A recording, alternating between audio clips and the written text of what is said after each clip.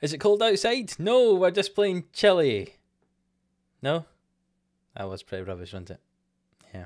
Anyway, today we play against Chile and we play against Paraguay in the group stages of the Copa America. Can we get Messi to win the competition for the first time? Let's find out. Yes, welcome on into 11AM Sports here for Argentina at the Copa Americas. And can we get Lionel Messi to win his first piece of international silverware? Can we get him to win the Copa America? Let's find out. If you missed the last episode, that's where we kind of introduce you to the team and everything like that. So go and have a look at it if you missed it. And we're going to get straight into this one where we say we play against Chile and we play against Paraguay. I think it's the second game in this one it's another team, but Chile's the first one. The first thing we've got to do is select our captain, and of course it's going to be Messi, and Nicolas Otamendi can be our backup captain or vice captain. Yes, Chile and Paraguay are the two games today, and we'll get right into that game up against Chile right now, and we'll show you the team. Hopefully lots of goals, as you can see from the friendlies. We've scored a lot so far this this this, uh, this, this campaign. Is that the right way to say things in this international competition? I'm not sure. So in the other game in our group today, Uruguay beat Bolivia 3-2. A very close game, that one.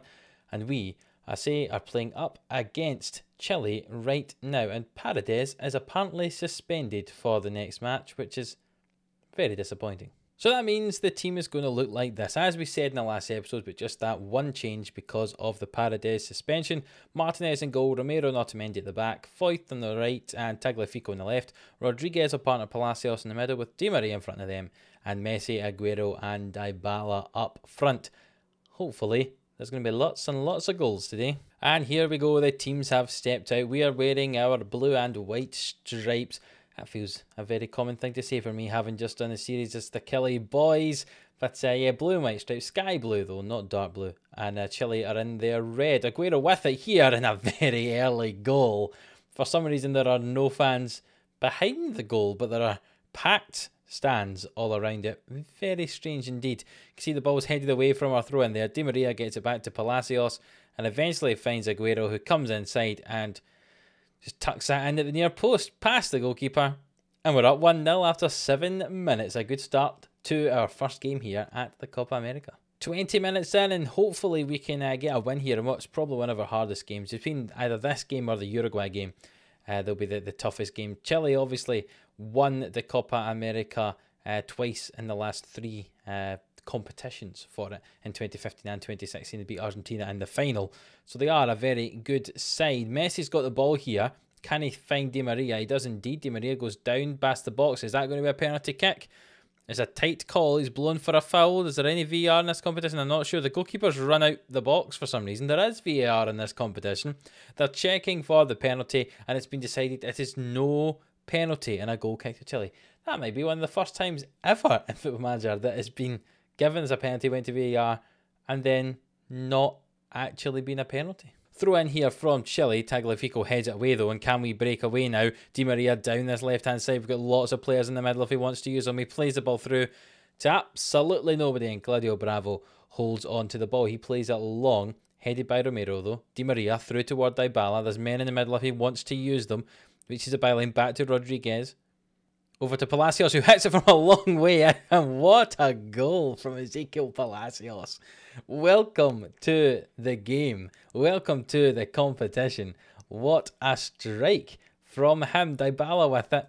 You can see he plays it back to Rodriguez, who finds Palacios on the edge of the area, thrashes it right off the underside of the bar and into the goal. Bravo stretched as far as he could, but wasn't going to get that. And we're up 2 0 now, late on in this first half. And we reach half time and it is still 2 0, and the team is playing very well indeed. And we'll just say, keep it up. We know you're capable even better though, but just keep it up. And half a minute into the second half, and there is a highlight. Palacios finds Tagliafico through to Aguero. There's men in the middle if he wants to use them. He plays it back toward Di Maria, who hits, and that's us up 3 0. This attacking talent that Argentina have is unbelievable. The fact that you can see sentences like Aguero passing it to Di Maria, and that's even forgetting that Messi's on the other side of the pitch. Wonderful. Aguero gets to the byline, comes back, just plays it toward the centre spot, at the centre spot, the penalty spot, and Di Maria gets to the end of it, tucks it away, and we're up 3 0 here early in the second half. This could be quite a few if it keeps up like this. But it's a chance for Chile, and they've pulled one back. A goal very quickly after we've got our third one. So it's 3 1 now, and this could make it perhaps slightly more interesting if Chile can get another one and then start the comeback. But hopefully it'll push us on to go and score some more goals. Uh, we're very good going forward. Hopefully we can get some more. And there is a corner kick here. Di Maria swings it and it's headed away. And who's going to get to that? It's Fuenzalida. That's a hard name to say. He gets past the man, there's loads of folk in the middle who wants to use them. Vidal with it. What's he going to do? Finds Alexis Sanchez. Valdez hits it and it's just wide of the goal. And 55 minutes gone. That was nearly 3 2. Corner kick though. Chile swing it in and it's gathered by Emi Martinez. And can he get the ball out to the wide areas? No, he plays it forward toward Aguero. Aguero gets past his man. Can he finish? He can. What a goal from Sergio Aguero, assisted by Emi Martinez. And we're up 4 1 after 56 minutes here. That was all Martinez and all Aguero. Martinez here, you see, long ball, taken down lovely in the chest by Aguero, gets past his man, edge of the box, and shoots with his weaker left foot right across the keeper into the bottom corner. And we're up 4 1. We've taken off Dybala and Lautaro Martinez has come on for him and Montiel's come on at right back as well. Aguero, hey, there we go. Gonzalo Montiel swings the ball in towards Aguero and Aguero has got himself a hat-trick and I read on the bottom it's a perfect hat-trick. A right-footed shot, a left-footed shot and now a header here. Montiel has come on for Foyth on that right-hand side. A lovely header from Kun Aguero after that. A ball swung in from Montiel and we're up 5-1 after just, just over an hour. This... Uh, this has been a very, very dominant performance. And to be honest, if we keep playing like this, the only team that's going to give us any problems, I think, in this is going to be Brazil. I don't want to curse it by saying that, but I think that might be the case. Messi, the first time we've probably seen him in the ball, comes down this right hand side. What is he going to do? He tries to get past Vidal, but Vidal challenges him and clears it away. And Montiel with it now finds Palacios and Di Maria and Messi's in acres of space if he can find him. He does. Messi's got the ball now. Can he swing the ball in toward Martinez? And Lautaro Martinez heads that over the bar. And it's still just 5 1 with 20 minutes to go. But there is another highlight almost immediately. Lots of highlights in this game. Valdez with it. Back to Mina. Mina plays it forward, but only as far as Montiel launches it forward. Messi flicks it on to Martinez, and can he finish? He can indeed. Lionel Messi with the assist. Lautaro Martinez with the goal. We're up 6 1. There's still 20 minutes to go. And I promise you there's going to be goals in this series, and goals there have been. See the ball played long. Messi somehow wins that header against the centre half, and Lautaro Martinez tucks that in. And we are up 6 1 against Chile. We've brought on Lo Celso in the middle of the park for the last 15 minutes. A corner from Chile swung in and it's headed in by Vidal and it's 6 2 here. 8 goals in 80 minutes. That should, in theory, mean that there's going to be another goal before the end of the 90. You would have thought a lovely, lovely header uh, across goal, and Vidal gets onto the, the second effort. And uh, and yeah, lots of goals. Lots of goals. And there could be another one here, as there's a highlight straight away. Rodriguez with it. Over to Lo Celso, who's just come on, remember. Finds Aguero. And Aguero plays the ball back to Lo Celso and Tagliafico on the overlap on the left-hand side. He swings it in toward Lo Celso. Oh, and it's a good save from the goalkeeper. And it's out for a corner kick. It's taken by Di Maria. Can we get this in? No, it's cleared away. And it's away for nothing. 88 minutes played now. The ball's thrown in toward Messi, but he doesn't win that header. But Di Maria collects it deep in and uh, the, the, the Chile half, he's right back in his own centre backs now, is Di Maria. Lo with it, finds Messi, heads it back to Rodriguez. Tagliafico on the left hand side, drives into the box. Can he spread it across? Rodriguez with it. Messi's got the ball now. Can he do anything? He plays it back to Montiel. Montiel plays it forward toward Messi. Can he get in the end? He does. He tucks it back and, and Aguero gets a goal. His fourth goal of the game. Goodness me. 7-2 now to Argentina. Lovely play from Messi. Montiel with a beautiful ball down that right hand side. And Messi runs onto it, beating the defender with ease and tucks it across the goal. The keeper should really deal, deal with it. It goes right through the keeper's hands, and Aguero's there to mop it up in the six yard box. And it's 7 2 here against Chile. And a chance for another goal. Di Maria with a free kick here in stoppage time. It's cleared away by Bravo, and Mora comes away with it. And is it going to be a Chile goal? Mora down the right hand side for Chile. Drives into the box. Can he cross it over? He goes to the byline, and it's into the side net. And it would have been a great finish for him but not quite. There's been 22 shots from us in this game, 13 for Chile. Goodness me, the expected goals are apparently 3 to 1, but it finished 7 2. And I think it's fair to say Sergio Aguero deserved a 10 rating there with his 4 goals in this game. 7 2, 9 goals in this game, and there's still another game to come. And that uh, result puts us comfortably at the top of the table with a goal difference of plus five after Uruguay won their game by one goal. So we are top of the division at the moment, and we play Paraguay, who had a bye in this first round of games, in the next game, which is coming up in just a second. And with that, Messi has become the most capped player for Argentina with 148 international appearances. And Aguero, apparently, has set a new record for the number of goals in the Copa America game by scoring four record setters. And here's the results in the other groups, some of which are slightly surprising. No surprise Colombia beat Venezuela by so many, 6 0 for them. Perhaps surprising that Luis Muriel scored five goals, so he's just beaten Aguero's record that Aguero had just set for a number of goals in the game. There you go. But Brazil losing to Ecuador is very surprising. So that does then put uh, Colombia and Ecuador at top of that Group B at the moment. The past winners, as I was saying, Chile won it two uh, two years ago, or, or two tournaments ago, and three tournaments ago, and Brazil won the most recent one. Brazil kind of dominated it in recent years. Uh, and we haven't won it since 93, so hopefully we can this year. Chile, that was a good win though against a team that has won it twice at the last three competitions. And Brazil, struggling in their first game against Colombia, maybe they're not as tough as we might uh, might have thought they were. Sorry, the first game against Ecuador, not against Colombia. That makes it even even more surprising because Ecuador are certainly not a favourite. And here we are, ready for our game against Paraguay. Uruguay and Chile have just drawn two all, which means this game against Paraguay can put us top of our group should we win it. Even a draw will be enough, to be honest, because of goal difference. But we'd like a nice win against Paraguay. Paraguay, not having played a game yet, maybe they'll be a little bit rusty. Paredes is still suspended, so the team we're going to go with is exactly the same as the last time. Martinez with Romero and Otamendi in front of him, Foyth on the right, Tagliafico on the left, Rodriguez, Palacios with Di Maria in front of them, Messi and Aguero either side of Dybala. Let's get into it. So we are still out there in our blue and white stripes, Paraguay playing in their red.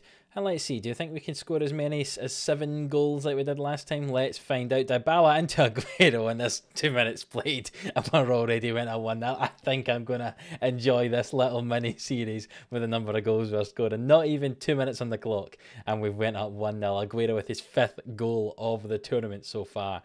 The ball played long, Dybala heads it, and Aguero just beats the defender in the box.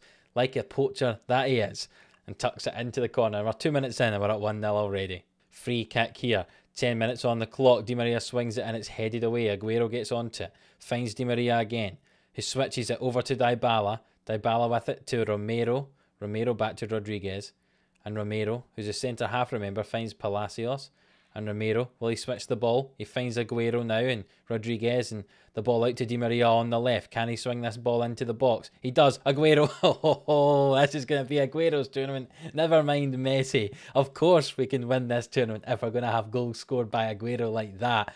We've not even had Messi properly involved in the games yet and we are still dominating this. Goodness me. Di Maria out there on the left hand side gets it in, and Aguero scores with his left foot there. He, he scored a perfect hat trick the last time.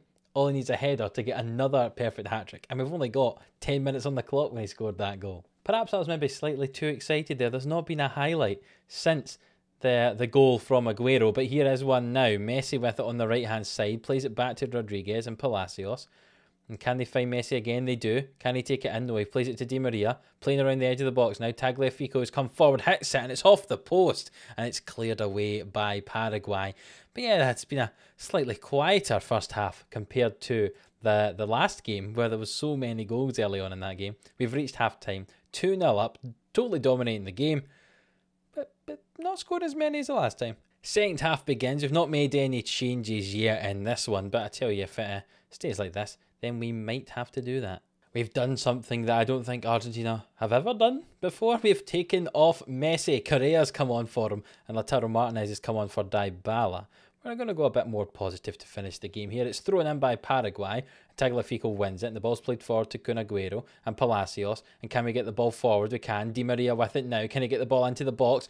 He plays it out wide to Tagliafico. Can he swing it And He does to Rodriguez, and Rodriguez hits it, and it's deflected off somebody, but it's counted as a Guido Rodriguez goal. And we're up 3 0 now with 15 minutes to go. That was a fantastic counter attack. Di Maria out there on the left hand side, venturing out there as, a, as he will do from that central row. Aguero tries to hit it. Uh, good, uh, Rodriguez does hit it, and it just uh, just poor goalkeeping from Fernandez.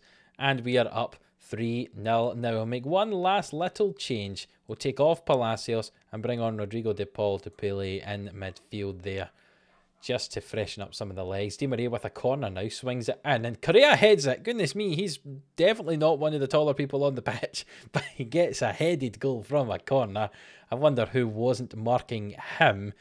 And it's headed in and we're up 4 0. Yeah, I mean, there was three people around him and somehow he has just risen up above them to go and get that goal. And we're up 4 0 now with 10 minutes to go. Kaku out on this right hand side finds Jimenez. It's out now, swung in. Can Foyth challenge Almiron successfully? He does. Rodriguez wins it. The ball's played out to the right, and there's none of our players there. The ball's played forward, launched forward, as you could say. But we've intercepted it. Correa finds Lautaro Martinez. Can we get another goal? Martinez, he can indeed. We've went up 5-0 now. We just were slightly slower than we were in the game against Chile. Just built ourselves into the game and scored five goals now after 80 minutes. Correa gets the ball, threads it through, and Martinez just turns on the pace and no one is getting there. And he shoots across the keeper into that bottom corner. And 5-0.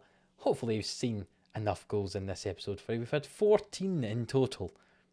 Very, very exciting indeed. And we've got to the end of that game. We've won it 5 0. To be fair, Paraguay had quite a few chances as well. The expected goals are not that different, but we have just been much more clinical. Two from Aguero, one from Martinez, one from Correa, and one from Rodriguez gives us the 5 0 victory. And that puts us comfortably at the top of our group at the moment. Two games, two games won, We've won by five goals in each of the games. Nice. Nice way to start. And we'll finish off looking at this with the, the second round of games in the other group. Venezuela have beaten Ecuador 2 0 and Brazil beat Peru 1 0, which means that the groups look like this. Uh, group B is very, very even. Colombia, Brazil, Ecuador, and Venezuela all on three points, but ourselves top of Group A with six points. Uruguay in second and Chile in third. We've now got our uh, our game off of the, the five game weeks. Game week three is our game off, so we'll see if Uruguay can overtake us when they play up against uh, Paraguay in their next game. And Chile will be playing against Bolivia, and then we'll come back and be playing against Uruguay in the next episode, and we'll finish off with our game against Bolivia as well. If you have enjoyed this one, then please do leave a like. I mean, come on, there has been a lot of goals in this episode to enjoy. I think it's going to be a fun wee mini series to have on the channel. I say, please do leave a like if you have enjoyed it. Subscribe if you haven't already, and follow along with this little mini series as well as the other stuff that's on the channel and the other stuff that's coming up. And until the next one, where we play against Uruguay and Bolivia, we'll see you then.